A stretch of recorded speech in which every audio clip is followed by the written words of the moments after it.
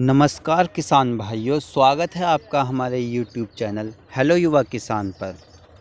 किसान भाइयों, आज हम आपको जो ये खेत दिखा रहे हैं, ये किसान के द्वारा फरवरी अंत माह में इसकी बुआई की गई थी एवं बुआई के पश्चात इसमें पानी का प्रवाह किया गया था।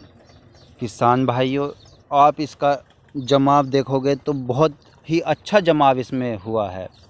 इसमें किसान के द्वारा मैली का खाद, जो कि मील के द्वारा प्राप्त होता है, उसको एक वर्ष बरसात सड़ाने के पश्चात इसको डाला जा रहा जा रहा है।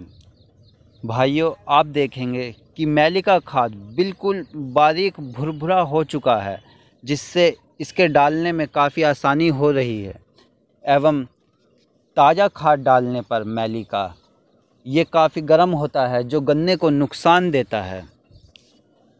किसान भाइयों, किसान के द्वारा अच्छी उपज लेने के लिए इस खाद का उपयोग गुलों में किया जा रहा है। आप देखोगे कि खेत में काफ़ी अच्छा जमाव के साथ साथ अच्छी ट्रिलिंग भी हुई है। किसान के द्वारा अभी तक मात्र इसमें एक स्प्रे एन पी के अट्ठारह अट्ठारह अट्ठारह जो सल्फ़र युक्त होता है उसका उपयोग किया गया है तथा यूरिया खाद के रूप में 25 किलो खाद का उपयोग किया गया है। ये क्षेत्र मात्र तीन बीघे का है।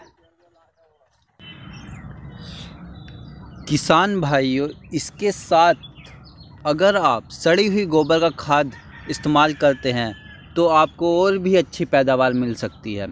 किसान भाइयों, सड़ी हुई गोबर का खाद आप गन्ने के लिए खींची गई गुलों में उपयोग करें तो आपको अधिक लाभ प्राप्त होगा। किसान भाइयों, किसान के द्वारा इस खेत को ट्रंच मेथड के माध्यम से दो या तीन आँखों के गन्ने का उपयोग करके बोया गया है। किसान भाइयों, बोने के पश्चात इसमें पानी का प्रवाह किया गया था। ध्यान रखें किसान भाई कि पानी बहुत ही हल्का देना होता है। किसान भाइयों, नालियों में पानी ज़्यादा ना भरने पाए। इससे आपका गन्ना अच्छी जमाव के साथ साथ अच्छी ब्यात प्रदान करेगा। किसान के द्वारा ट्रंच मेथड का जो डिफरेंस है, वो सवा पाँच फीट रखा गया है। किसान भाइयों, गुल की जुताई करते समय ध्यान रखें कि गन्ने पर मट्टी बहुत हल्की जाए, ज़्यादा मट्टी गूल में ना जाने पाए। इसका फ़ायदा आपको ये होता है कि आपका जो ब्यांत है, वो मट्टी में नहीं दबता और टीलर मोटे होने के साथ साथ अच्छी बढ़वार प्राप्त करते हैं। अन्यथा मट्टी ज़्यादा जाने पर टीलर बारीक होकर ऊपर को बढ़वार करते हैं। धन्यवाद किसान भाइयों।